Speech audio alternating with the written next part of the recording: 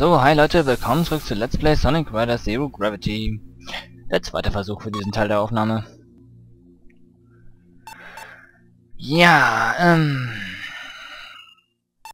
Ihr wisst ja, dass ich gefehlt habe. Ich gucke mal, ob ich auf diesem Spielstand hier äh, die Missionen, die ich gemacht habe, noch nicht gemacht habe, weil dann ist das auch praktisch 1 zu 1 und so, ne? So, Heldenstory, na, na, na. Okay, hier sind die Missionen noch nicht gemacht, das ist wunderbar. Das heißt, wir können auch gleich anfangen. Finde die schnellste Strecke, um das Ziel in einer Minute und 8 Sekunden zu erreichen. Schaffen wir es unter einer Minute, haben wir das Extrem. Finde die schnellste Strecke, dann wollen wir mal sehen, ob Sonic auf der Wasseroberfläche genauso schnell ist. 3, 2, 1, 0, Bingo!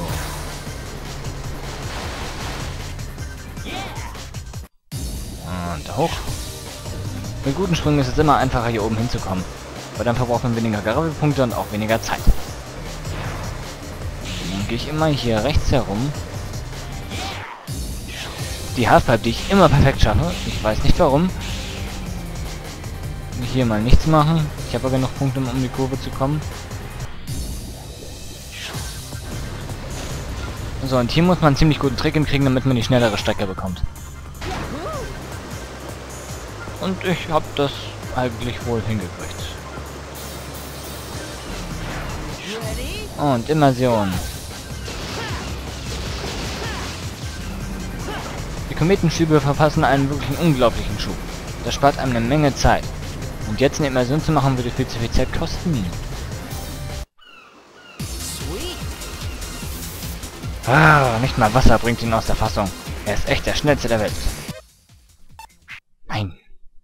Nicht auf dem Board. Ab Sonic Unleashed, Sonic Color, Sonic Generations? Ja. Definitiv. Aber so nicht. Mission 2. Erreiche das Ziel mit mindestens 75 Ringen. Puh. Das ist doch nix.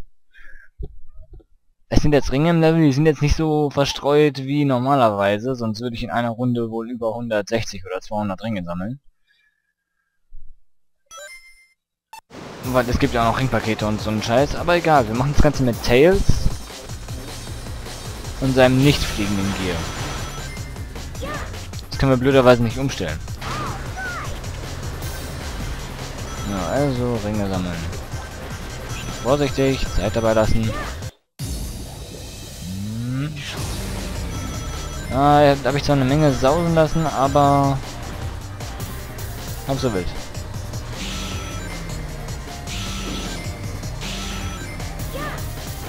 Ja. Mit manchen Beschleunigern wollen die aber auch, dass ich mitten in den Ringen lande. Ja, um. Haben sie die wie sonst verteilt? Was mache ich da eigentlich? Ich bin es gewohnt, die Immersion zu machen. Das war ein Fehler, ein ganz blöder Fehler. Darf ich nicht, sonst komme ich nicht in den Rest der Ringe, den ich, die ich brauche. Und das passt. Die nächste Mission ist die Trickmission. Das ist eigentlich auch schon das Schwierigste, was man hier zu tun hat. Was? Er hat so viele gesammelt? Tails Technik ist unglaublich! Wenn man mal davon abschaut, dass Eggman einen äh, Rechner mit Daten von denen gefüttert hat und den Simulator einfach laufen lässt, ähm, Erzähle die Ausführung von äußerst raffinierten Tricks, 26 Punkte. Das mit, der, das mit der Punktzahl steigert sich hoch auf 46. Müssen, mindestens so viel müssen wir kriegen. Und wir sind weniger. Das könnte schon der längste Teil von Aquatic Capital sein, werden. Wir müssen nämlich wieder mit äh, Knuckles fahren. Und für die Tricks kriegen wir gerade den ungelenkigsten. Aber es macht nichts, den Trick habe ich perfekt geschafft. Und das ist doch auch schon was wert. In diesen Halfpipe stört es mich nicht, wenn ich mal nicht perfekt mache. Hier muss ich ein bisschen früher springen, sonst wäre ich zu spät da runtergekommen.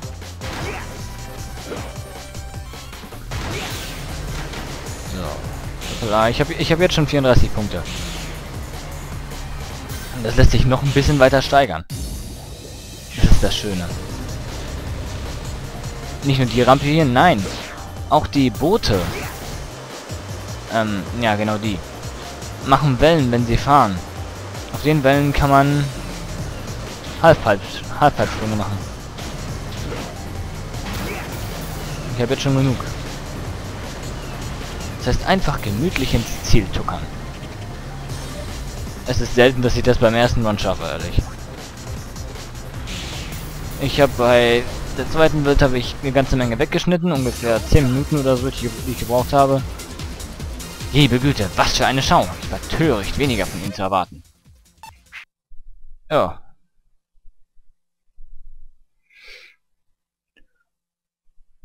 Also ich für meinen Teil bin auch nicht gerade besonders stolz auf die Tricks von Knuckles.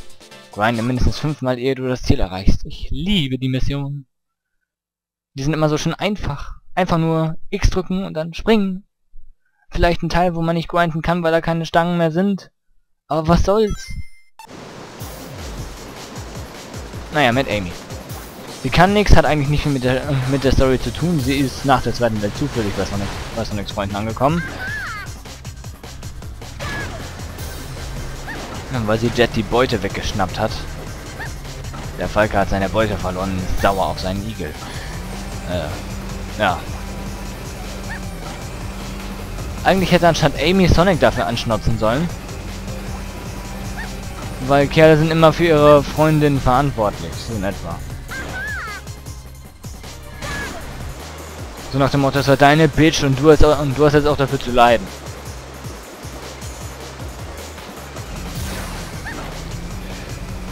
Gut, dass die Sonic-Spiele nicht auf diesem Milieu basieren. So von wegen, ey, Full Gangster, ey, ich schlag dir die Fresse ein, wenn du was machst. Oh, ich kann sowas nicht ab. Und, oho, sehr gut, erste Sahne, sowas nenne ich Geschick. Eggman ist ziemlich gut, was seine Antworten betrifft. Er schafft es dauernd, seine Antworten so zu formulieren, dass sie zwar das gleiche bedeuten, aber immer anders klingen. So, mit Kometenschüben vier Punkte holen. Ich weiß nicht, ob wir so eine Mission schon mal hatten. Ich glaube aber schon. Es geht nur darum, äh, die Immersion zu verwenden und an bestimmten Boards dran zu schrabbeln, damit man weiter vorwärts kommt. Du hältst dich für einen Kraftprotz Knuckles, aber wie gut kannst du Kometenschübe nutzen? Hm, er hält sich nicht für einen. Er hat diesen Ruf einfach gekriegt, weil er jeden verprügelt, der ihm im Weg steht. Und Eggman soll mal die Klappe halten, der ist auch ein Power-Typ in diesem Spiel. So, manche sind ein bisschen fies versteckt. Jo, ja. Genau das habe ich gemeint. Fies versteckt, oder ich wollte es nämlich gerade sagen, aufpassen, wo man lang fliegt. Man kann es steuern. Auch wenn es jetzt nicht der aufregendste Teil der Immersion ist. Der aufregendste Teil ist immer noch der Kometenschub selbst. So, hier ist es wichtig, die Kugeln zu erwischen. Wenn man beide erwischt, kriegt man alle Punkte.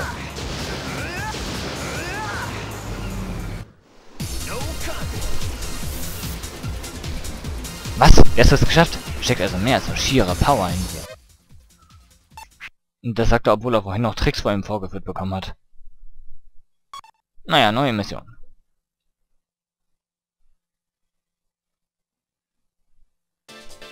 Mal sehen. Wir müssen mit Sonic und seiner Bande auf den Schlage alle drei. Wir fahren mit Amy. Amy gegen die anderen. Jetzt kann ich aus erster Hand beobachten, was sie drauf hat. Oh, eine Blume. Nur Amy fährt so lang so, ja, yeah, ich bin schnell, sieht eine Blume, eine Blume, hält an, pflückt die, schnuppert. Ah. Ja, das traue ich so einem Mädchen wohl zu. Und sieht sie, wie Sonic abhaut, holt ihren Hammer raus und hinterher. Na. Und das ging nicht so glatt. Ich hätte vielleicht ein bisschen hochziehen sollen.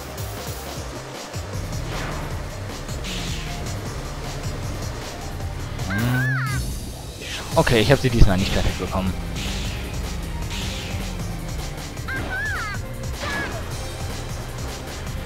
So.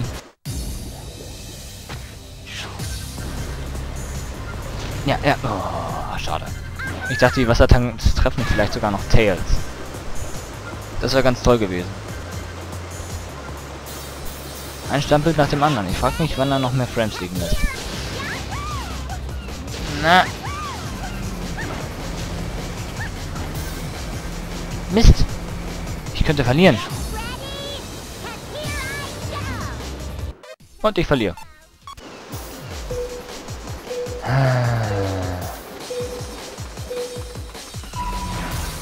Das war ein perfekter Start. Endlich lief das mal.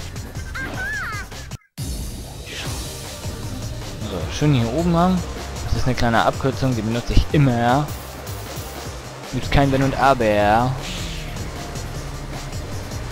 Man könnte noch so flehen und jodeln. Ich benutze sie jedes Mal. Was, oh, was macht er da oben?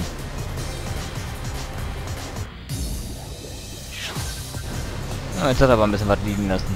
Das merke ich. Das war, das war jetzt vorhin ein richtig heftiges Standbild. So, gerade noch ein S-Rang.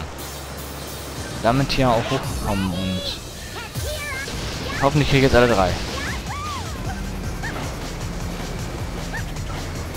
Das war vorhin nämlich das Problem. Ich habe nur zwei bekommen. Das hat dann wohl nicht gereicht.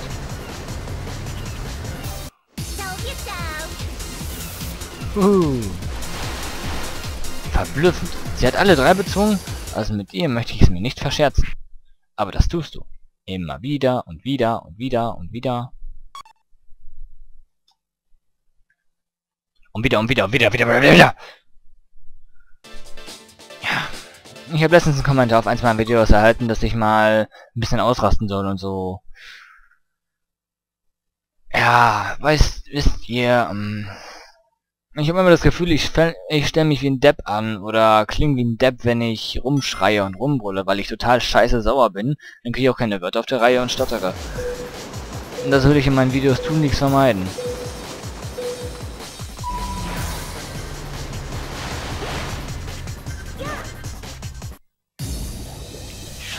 Meine und ich klingen nun mal ein bisschen äh, totgeklatscht, wenn ich ein bisschen tonlos rede.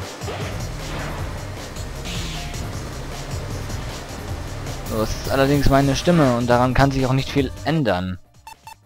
Nein, nein, nein, nein, das starte ich nicht.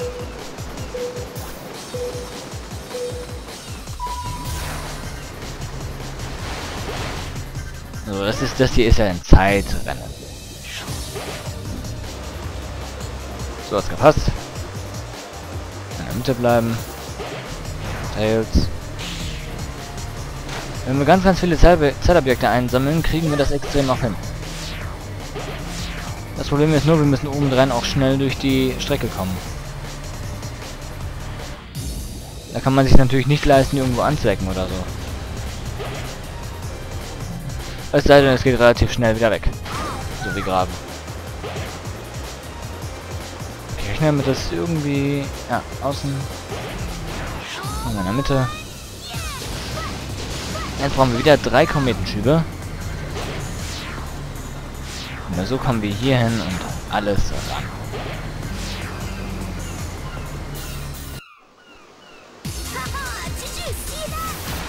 Okay, ein kleiner Soundlag, aber was macht das schon? Er hat nicht nur einen Haufen Objekt gesammelt, sondern kannte die Strecke auch auswendig.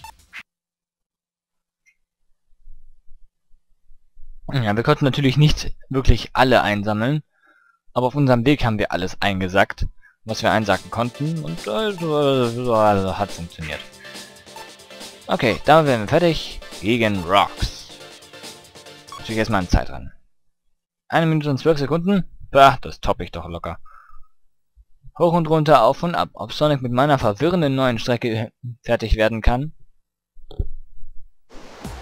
Hm. Bin ich ja mal gespannt.